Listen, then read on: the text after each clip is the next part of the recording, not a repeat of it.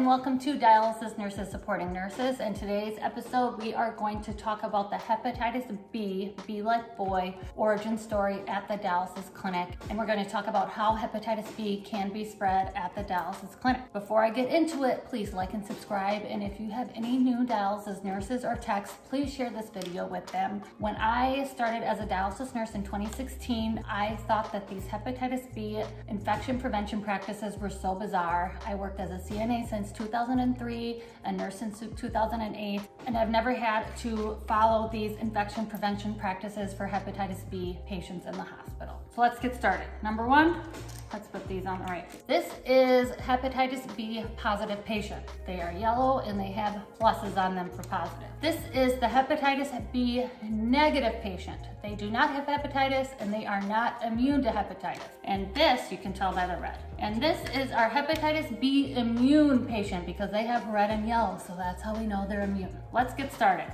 I'm gonna take you back to the dialysis clinic in the 1980s, maybe the 90s. So here is our caregiver, and they are going to take care of this hepatitis B positive patient. They use the same stethoscope, they use the same blood pressure cuff, and they share those things with multiple patients in the clinic and maybe something happens that blood is going to get um, the caregiver. This caregiver is contaminated. They have hepatitis B on their hands, maybe their stethoscope, or maybe the shared blood pressure cuff that they're using. And then this person goes up and takes care of hepatitis B negative patient. I'm gonna use the same stethoscope on this patient. I didn't clean it enough, and now I exposed this person to hepatitis B. And just like that, it takes off in their body and now they went from hepatitis B negative to hepatitis B positive. So now they're at risk for liver cancer, liver cirrhosis.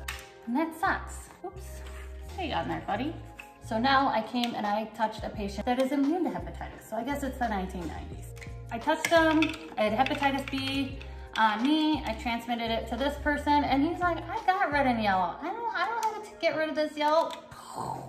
See ya. So they did not develop the hepatitis B infection. So that is one of the reasons why we promote the vaccine at the dialysis clinic. But one of the takeaways that we're going to take, one of the takeaways we're going to take from this origin story is that, and this is guidelines by Medicare, CMS, is that whenever I take care of somebody with hepatitis B, I cannot touch somebody that is not immune to hepatitis B because I could potentially expose them to the virus.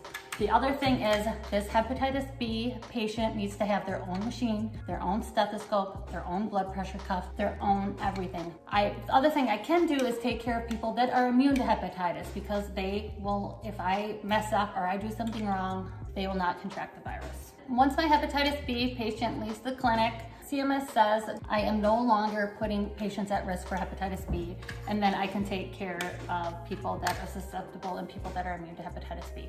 And then the last talking point is every month we need to make sure that this person does not contract hepatitis B, whether it's at the dialysis clinic or somewhere in the community. Every month we need to make sure that they do not have hepatitis B. And then as far as immunity goes, we need to check uh, these patients' immunity yearly. I hope this helped you understand why hepatitis B is such a big deal at the dialysis clinic. And I cannot wait to talk more about hepatitis B, specifically the vaccines and how to educate our patients that this vaccine is important. See you next time.